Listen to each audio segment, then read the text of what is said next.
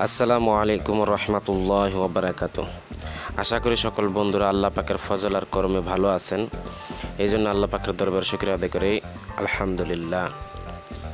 তো বন্ধুরা, আজকে আপনাদের সামনে যে জিনিসটা নিয়ে আসছি, সেই জিনিসটা হলো একটি ইসলামিক অ্যাপ। যে অ্যাপসের মাধ্যমে আপনি দাওয়াত ও তবলিকের খুঁটিনাটি বিষয়গুলো জানতে পারবেন এবং দাওয়াত ও তবলিকের ছয় সিফত জানতে পারবেন এবং অনেকগুলো মোজাকারা আছে, সেগুলো আপনি জানতে পারবেন। সেই অ্যাপসের মধ্যে আমরা ঢুকে পড়ি। আর ঢোকার আগে একটা কথা বলে রাখি বন্ধুরা, আমাদের এই চ্যানেলটিতে যারা নতুন, তারা অবশ্যই আমাদের চ্যানেলটিকে সাবস্ক্রাইব করবেন, বেল বাটনে ক্লিক করে রাখবেন এবং শেয়ার এবং কমেন্ট করবেন। তো বন্ধুরা, চলুন আজকে আমরা সেই অ্যাপসের মধ্যে ঢুকে পড়ি। সেই অ্যাপসটা আপনারা পেতে হলে সর্বপ্রথম যেটা করতে হবে, সেটা হলো প্লে স্টোরের মধ্যে ঢুকে পড়তে হবে প্লে স্টোর আমরা প্লে স্টোরের মধ্যে ঢুকে পড়ি। প্লে স্টোরের মধ্যে যাওয়ার সাথে সাথে লিখবেন ছয় নাম্বার। ছয় নাম্বার বাংলা লিখবেন ছয় নাম্বার। লেখার সাথে তো এই যে প্রথম যে অ্যাপসটা দেখতেছেন, তবলিগের ছয় নাম্বার, এই অ্যাপসটার মধ্যে আপনারা প্রবেশ করবেন।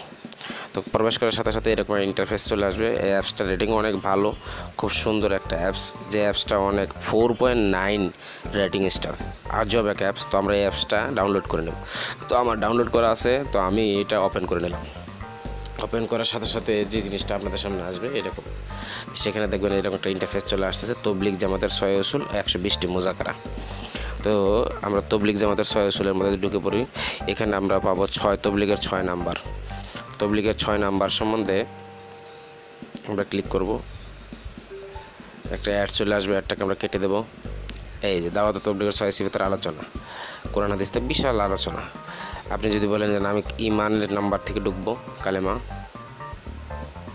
এই দেখতেছেন, ইমানই কালেমা হইতেছে ইলাহা ইল্লাল্লাহ। এরকম ইমানের উদ্দেশ্য, ইমানের লাভ, ইমানের দাওয়াত, ইমানের মস্ক, এবং ইমানের বিভিন্ন জিনিস এখানে আছে।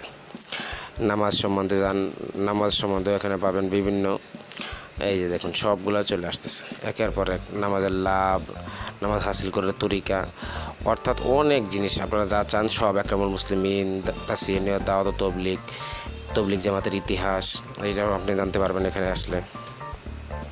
সর্বশক্তি বিভিন্ন ইতিহাস, কবে থেকে তবলিক জামাত শুরু হয়েছে, কি কে কে কোথায় ছিল, কীভাবে ছিল তবলিক জামাতের ইতিহাস এবং কীভাবে তা পরিচালিত হয়।